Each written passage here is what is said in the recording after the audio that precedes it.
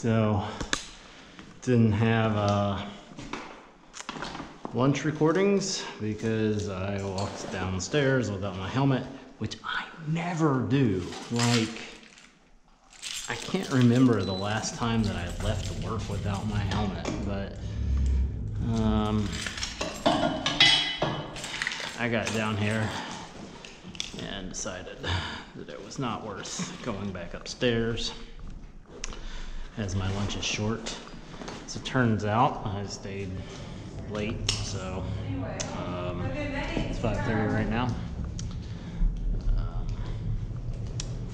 so taking a little extra time at lunch might not have been so bad, but um,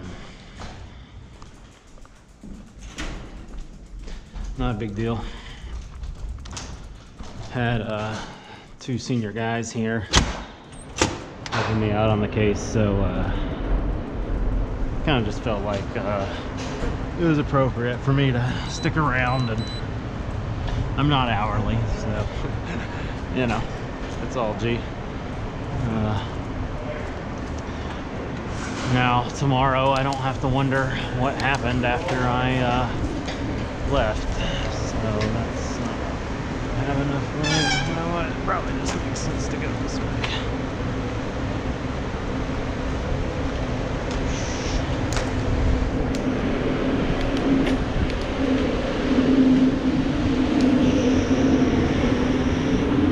It's funny.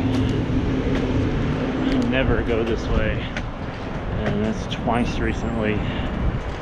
Twice like the last couple of days that I've had to go this way. And I was just leaving at weird times.